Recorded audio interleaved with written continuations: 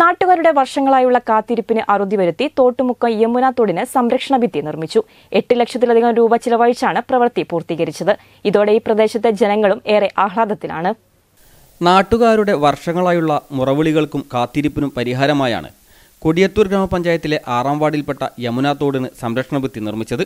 ഇതോടെ തോടിന്റെ തീരമിടിച്ചിലും പരിഹാരമാവും. മഹാത്മാഗാന്ധി ദേശീയ ഗ്രാമീണ തൊഴിലുറപ്പ് പദ്ധതിയിൽ ഉൾപ്പെടുത്തി എട്ട് ലക്ഷത്തിലധികം രൂപ ചെലവഴിച്ചാണ് പഞ്ചായത്ത് മുൻകൈയെടുത്ത് സംരക്ഷണ ഭിത്തി നിർമ്മിച്ചത്. നൂറ് മീറ്റർ നീളത്തിൽ പത്തടി ഉയരത്തിൽ ഭിത്തി നിർമ്മിച്ചതോടെ പ്രദേശവാസികളും ഏറെ ആശ്വാസത്തിലാണ്. തോട്ടുമുക്കം പള്ളിത്താഴെ പ്രദേശത്തെ ഗാന്ധിനഗർ കോളനിവാസികൾ ഉൾപ്പെടെ വലിയ ദുരിതത്തിലായിരുന്നു. മാടാമ്പിയിൽ നിന്നും എത്തുന്ന യമുനാ തോടിന്റെ തീരങ്ങളിലുള്ള വീടുകൾക്കാണ് ഭീഷണിയായിരുന്നത്. രണ്ടായിരത്തി പതിനെട്ടിലെ പ്രളയത്തിലാണ് തോടിന്റെ തീരം ഇടിഞ്ഞു തകർന്നത്.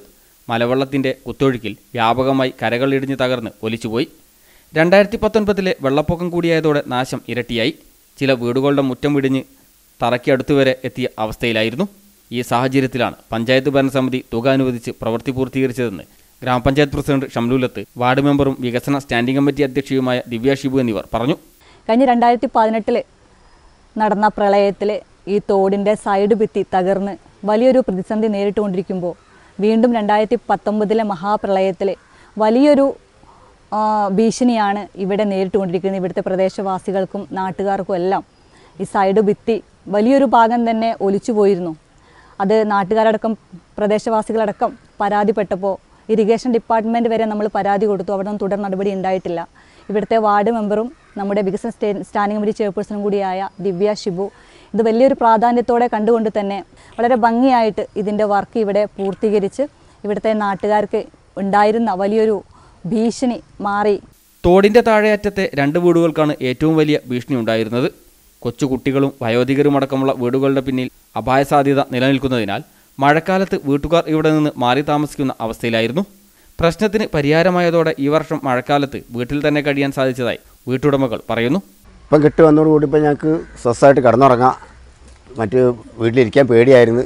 ഇപ്പം പഞ്ചായത്തും ബ്ലോക്കാരൊക്കെ കിട്ടിയതിന് പേരിൽ ഞങ്ങൾക്ക് ഇപ്പോൾ സ്വസ്ഥമായിട്ടിരിക്കുക കിടന്നുറങ്ങാം.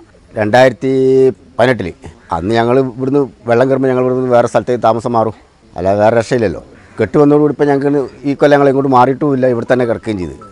വില്ലേജ് അധികൃതർ ചെറുകിട ജലസേചന വകുപ്പ് അധികാരികൾ തുടങ്ങിയവർക്ക് പ്രദേശവാസികൾ പരാതികൾ നൽകിയിരുന്നുവെങ്കിലും ഫലമുണ്ടായിരുന്നില്ല. ജലസേചന വകുപ്പിലെ ഉദ്യോഗസ്ഥർ പലതവണ സ്ഥലം സന്ദർശിച്ചിരുന്നതായി പ്രദേശവാസികൾ പറഞ്ഞു. പരിഹാരമുണ്ടാക്കാമെന്ന് പറഞ്ഞിരുന്നെങ്കിലും തീരം കെട്ടി സംരക്ഷിക്കാൻ നടപടിയായില്ല. ഈ സാഹചര്യത്തിലാണ് ഗ്രാമപഞ്ചായത്തിന്റെ ഇടപെടൽ നാട്ടുകാർക്ക് ആശ്വാസമായത്. ഗ്രാമപഞ്ചായത്ത് president Shamludath vice president Shihab Mattumuri standing committee അധ്യക്ഷരായ Divya Shibu M T Riyas Ayisha Chelappurath block panchayat അംഗം കെ പി സൂഫിയാൻ തൊഴിലുറപ്പ് പദ്ധതി അസിസ്റ്റന്റ് എഞ്ചിനീയർ റാസിഖ് തുടങ്ങിയവർ സ്ഥലം സന്ദർശിച്ചു. സി പ്രാദേശിക വാർത്ത മുക്കം.